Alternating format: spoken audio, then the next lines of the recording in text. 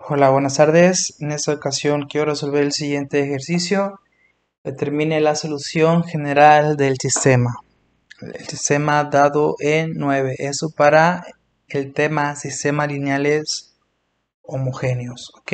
Tenemos aquí una matriz 3x3 a la que llamaremos A. S es menos 1, 1, 0, 1, 2, 1, 0, 3 y menos 1. Para calcular los valores y vectores propios usamos el determinante de A menos lambda i. Esto lo representamos como menos 1 menos lambda. Si seguimos la diagonal, 2 menos lambda y menos 1 menos lambda. La primera columna se completa como 1, 0, la segunda como 1, 3 y la tercera como 0, 1, ¿ok? Eso es tener menos 1 menos lambda que multiplica al determinante de 2 por 2 2 menos lambda menos 1 menos lambda en la diagonal 3 y 1 menos el determinante 1 menos 1 menos lambda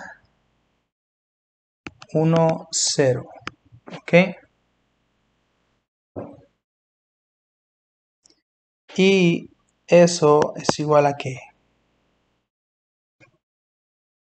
Tenemos menos 1 menos lambda. Vamos a abrir corchete. 2 menos lambda que multiplica a menos 1 menos lambda menos 3 menos menos 1 menos lambda, ¿ok? Si multiplicamos los que está en, el, en el, los paréntesis del corchete, tenemos menos 1 menos lambda, sería menos 2, menos 2 lambda, más lambda, más lambda cuadrada menos 3 menos menos 1 menos lambda. Eso es menos 1 menos lambda que multiplica a lambda cuadrada menos lambda menos 5 menos menos 1 menos lambda tenemos como término común menos 1 menos lambda que podemos factorizar.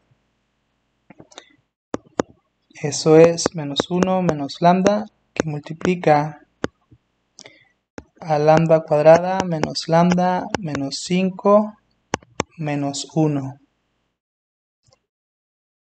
Mm, bueno, vamos a cambiar este. Uh, ese sería un paréntesis simplemente necesitamos corchete.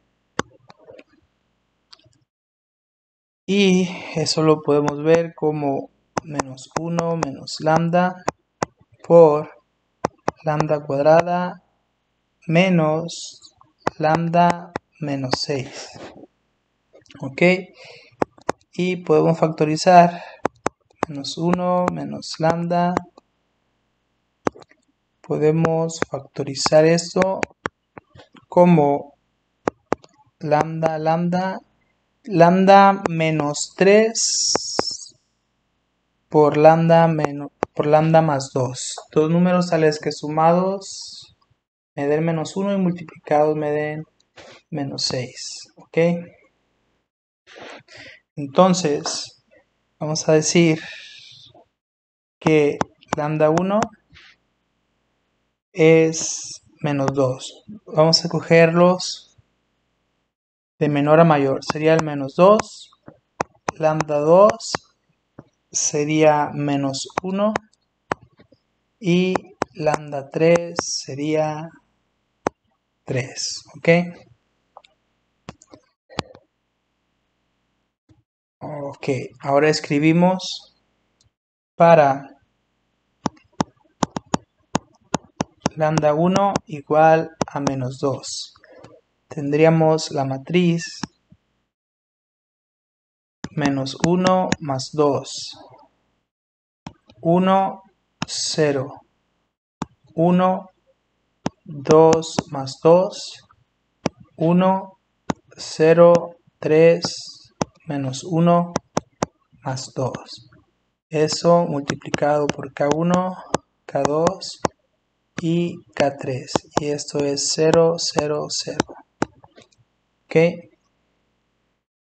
Si sumamos, tendríamos 1, 1, 0, 1, 4, 1, 0, 3, 1. ¿Ok? Y eso por K1, K2 y K3. Y esto es el 0, 0, 0. Vamos a tomar la matriz y vamos a trabajar con ella un poquito tenemos la matriz 1, 1, 0, 1, 4, 3, 0, 1, 1. Perdón, a veces digo la columna, otras veces digo el renglón. Vamos a decir R2 menos R1. Eso nos va a dar el 1, 1, 0 y el 0, 3, 1, 0, 3, 1. Luego al tercer renglón le vamos a restar el segundo renglón. O sea, como son iguales, podemos dejarlo en 0. Eso es 1, 1, 0, 0, 3, 1, 0, 0, 0. Entonces, en vez de tener la matriz 1, 1, 0, 1, 4, 1, 0, 3, 1, podemos usar la que acabamos de escribir. ¿Ok? Tenemos 1, 1, 0, 0, 3, 1, 0, 0, 0. Eso por K1, K2 y K3. Y esto es el 0, 0, 0. Por lo tanto, nos damos cuenta que del renglón 1, K1 más K2 es igual a 0. O sea que K1 es menos K2. Y del renglón 2 tenemos que 3K2 más K3 es igual a 0. O sea que K3 es menos 3K2. Ah, por acá, si K2 es igual a 1, K1 es menos 1 y K3 es menos 3. O sea que podemos escribir nuestro primer eigen vector o, o vector propio de la siguiente manera. Sería menos 1, 1 y menos 3. ¿Ok?